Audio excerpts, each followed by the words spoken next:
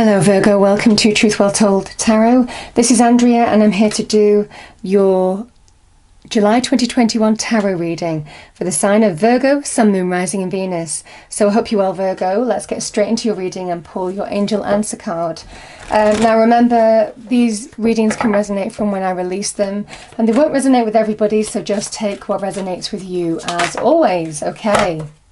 So the message is for you, we have you're ready. Isn't that lovely? You are ready, Virgo. Um, it just feels beautiful.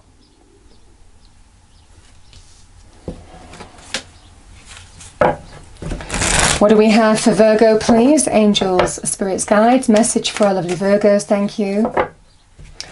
July 2021, thank you. What is the message for our lovely Virgos? Okay, the card's out.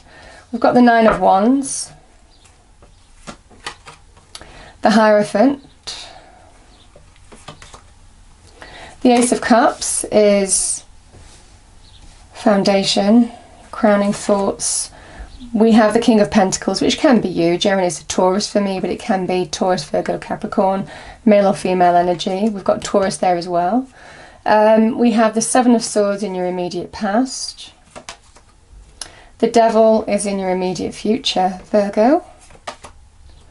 Ten of Wands, your fears. Wheel of Fortune, your environment. King of Cups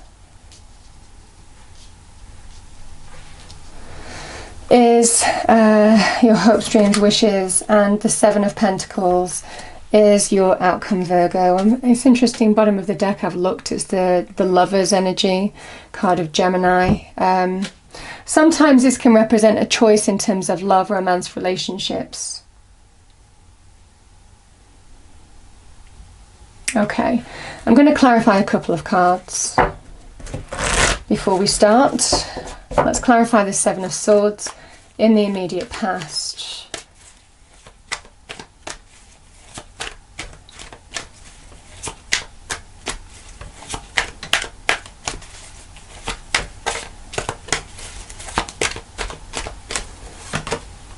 We have the Eight of Wands, the Death card,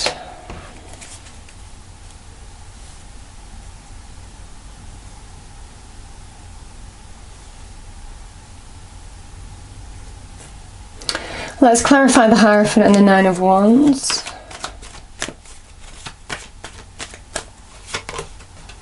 The Chariot. Let's do the Devil.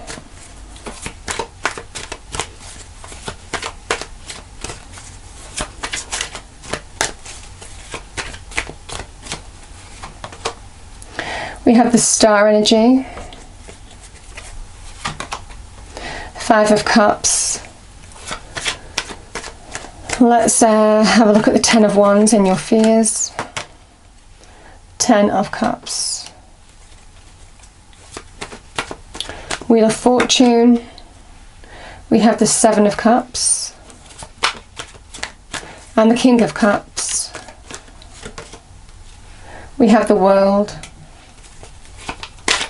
pull one more for that one. I've got that with the King of Cups. And the Ace of Swords.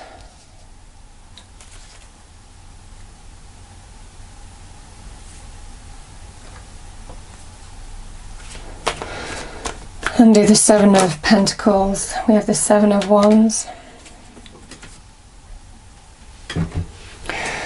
Okay, Virgo. Okay. Um, it feels like there is some choice, some choice that you're being presented with, and you're being told that you're ready because you've been giving this some considerable thought for a period of time. The uh, the death card can be a card of endings. Um,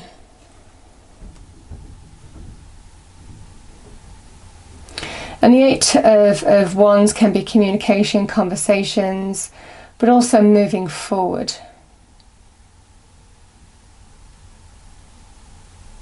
It feels like something has ended here, but someone is getting in contact who is acting strategically. They've got their own motives here in this situation. So it feels like they're there was an ending here, but I feel for some of you, this person is back.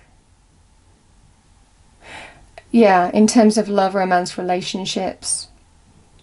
There's a kind of energy of wiping the slate clean with this energy as well, Virgo. It feels quite significant. I mean, this is about starting up communications, conversations out the blue, but they have their own motives in terms of why they're getting in contact with you. It might well be for some of you that, you know, this conversation might well be quite superficial to start off with, but it's almost kind of like they're acting in a specific way in order to reconnect with you. That's what I'm feeling.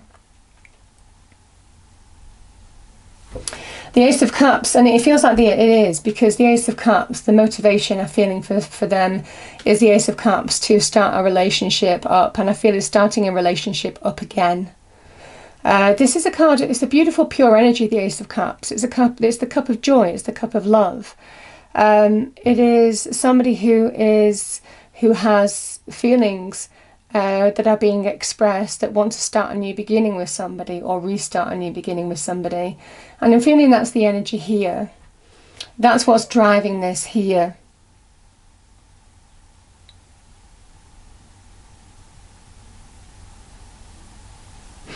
There's a kind of feeling that you're. It feels like you're being dragged back to the past, back to a cycle. The Hierophant can represent um, institutions, so it can traditional institutions, marriage, religion, education, I mean, and so on. Um, so committed relationships, even it could be some kind of committed relationship that you've been dealing with. Sometimes the Hierophant is also a card of, of you know, it's a card of um, when we question meaning, want to find you know, answers. Why is this happening to me? What's it all about? How do I move forward? You know, um, do I want to do this again? You know, it's all this kind of energy of, of um, questions for meaning, and it's it's an energy of spiritual wisdom, spiritual faith. The idea that you know, if you trust in spirit, the answer will become clear to you. Um, we have that with the Nine of Wands, which is, oh, do I want to do this again? I'm tired. You know, I'm tired of this do I want to pull, be pulled back to the past again? Because it's like the same thing is coming up again, and there's a feeling I'm tired of it. And you might be kind of wanting to find some answer, meaning to the predicament that you're in. Uh, it's interesting as well. The Hierophant is a card of Taurus, and I've got two cards of Taurus.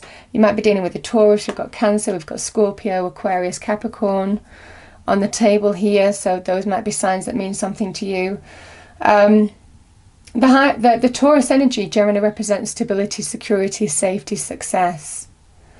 Um, but in this energy, it feels like you're questioning is this something that I can trust? Is this something that I can build on? Because I've already overcome this, you know. The, can we overcome a difficult situation and really put it behind us? Is this something that I want to go for now? Because I've already overcome this once, maybe a number of times. There's a kind of feeling of repeating cycles here. I had this for Libra actually. I think it was Libra. You might be dealing with a Libra as well. We've got Gemini here as well. Um, and that's what I'm feeling in this situation because that what's crowning you, what your thoughts are, is you want something stable, you want something secure, you want someone who you can trust. There could have been trust issues here. Um, and that's what is that's what the driving force is towards your decision. Certainly somebody is they regret their actions. Again, this can be vice versa, Virgo, but I feel this is the other person. They regret their actions and they are hoping that they can renew something with you. They're they're still they're hoping there's still hope. I mean, the star energy is a card of hope, faith, renewal, reasons to be optimistic. It feels like there's best intentions, but the situation still is the devil repeating of an unhealthy cycle, um, wanting to. This is generally when the devil appears it's a card of excess, one thing that blows everything else. It's, there's a dominant thing uh, that seems to overwhelm everything else. It causes instability in a relationship. Um, that could be addiction, codependency, um, obsession, possession, control, power struggles, manipulation. I mean, call it what you will. Um, and the devil is still there. So it feels like somebody has their best intentions here, and there's a sense of hope, faith, renewal. But the devil is still there. It's still an energy of wanting to start up a cycle again, of an unhealthy pattern, of an unhealthy relationship. Uh, something that I feel for some of you, you broke free of, there was an ending, and it feels like the cycle has the potential to repeat now. Yeah. They're hoping that there's still hope with you. But, you know, uh, Virgo, the Ten of Cups, we've got two tens, which is completion energy, but completely different energies here. because what seemed to be the blissful relationship, the happy ever after, turned out to be a burden, pressure, a heavy energy. And there's kind of an energy here in your fears. You're still carrying the burdens from what happened in the past. Can we still get this Ten of Cups back? You know, there was real high moments here, there was real happiness. Again, this can be to do with marriage, a long term committed relationship. Um, this is a blissful relationship. This is a happy ever after energy. This is feeling content on every level. But for some of you, there was burden, there was pressure, there was responsibility, there was a heavy journey as part of this process, and you're not sure if you want to make space for the new. This is your predicament. You may still be carrying the burdens of what happened in the past, what caused this ending, and I don't know if you want to put those ones down and start a new uh, a new journey with somebody who you experience this with.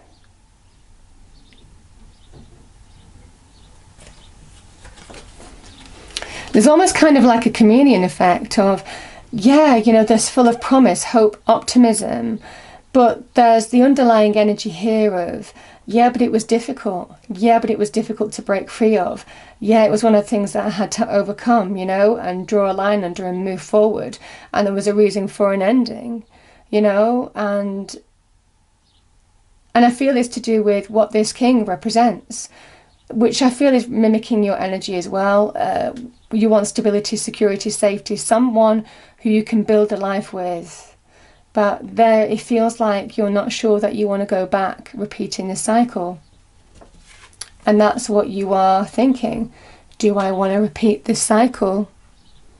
Because the Wheel of Fortune is um, it is a karmic energy. And the Seven of Cups is somebody who has choices to make, but there's confusion because emotions and feelings are involved in this situation. Uh, the Wheel of Fortune is that transmutable energy between endings and beginnings. Um, it is about life cycles. The opportunity is coming round again to start up with somebody, and that Wheel of Fortune is asking you do you want to repeat a cycle? Um, do you want to um, open up to this? Is can something be turned around here?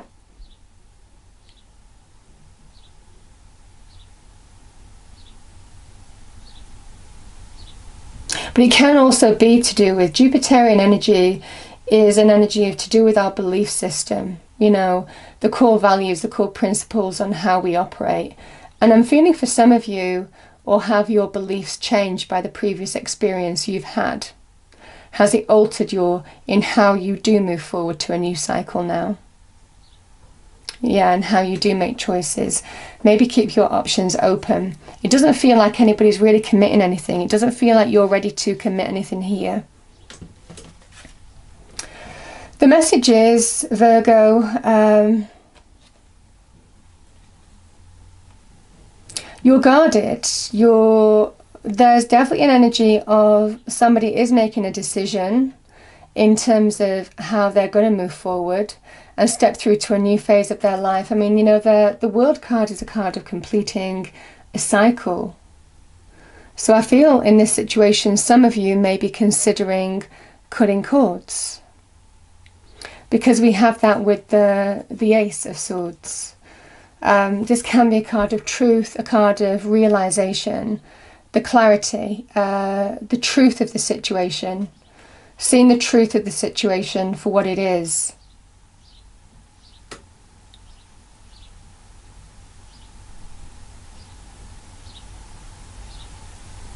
And how you do move forward now. Now, you know, it can be a card of, you know, drawing a line into something and stepping through to a new beginning. But I'm feeling in this situation, some of you, um, it feels it will become clear in terms of how you move forward. The King of King of Cups is definitely somebody you can see sits in the middle of the ocean, and the ocean, the cups energy, all represent water, which is, you know, the water can be miles and miles deep, but he's actually managed to master his heart, his suit. So it feels you will certainly get clarity by mastering your emotions in this situation. It feels like logic has to play a part in how you do move forward. But the clarity will become clear, and that's what you're being told in what this new life cycle means for you in terms of how you move forward.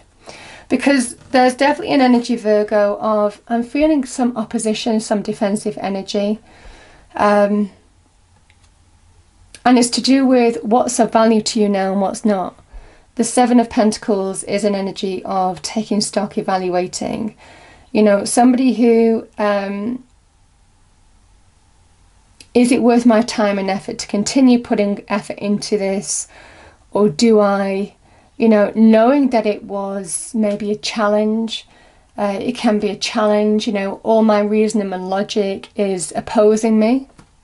It might well be in that situation, there's something opposing you here some opposition that you're feeling in how you move forward. But it feels for some of you, the messages take time to take stock, get things clear, consider what's of value to you.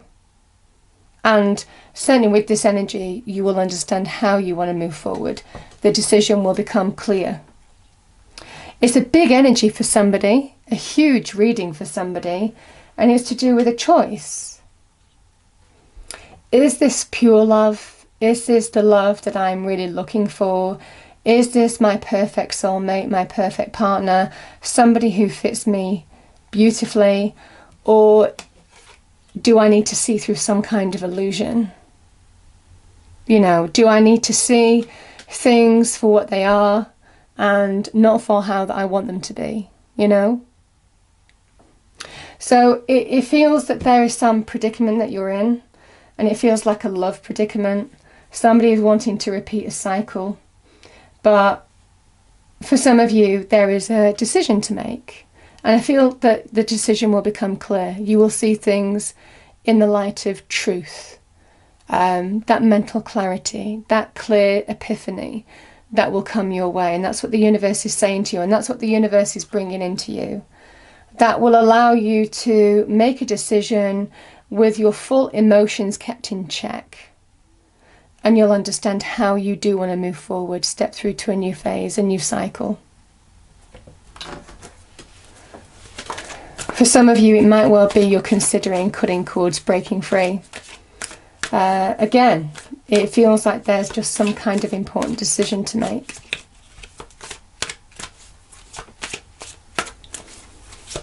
Okay, what do we have for Virgo, please, as a final message? Virgo, it feels like a very big reading for somebody. So we have Penguin Diamond Light Activation. Light activations and new energies are coming your way. Be open to receive and welcome them in.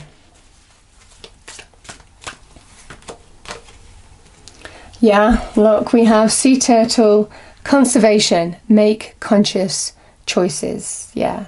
And this is fully conscious, fully conscious, seeing the big picture, enlightenment, illumination, full clarity, uh, seeing things in the cold light of day. It's logic and reason with you mastering those emotions as well. So there's definitely an energy of some balanced choice, a balanced decision that's coming your way. That is what I have. The message is that you're ready, regardless of what this is, you're ready. Um, it feels like an empowering energy here, Virgo. Know that you will be ready. Once once you come to the right conclusion, the right decision, you'll be ready to act on it. You know, you'll be ready to act on it and do what's right for you. So I hope you enjoyed the reading. If you did, please do like, share, and subscribe. I hope it's a wonderful month for you all, and I will see you next time. Thank you.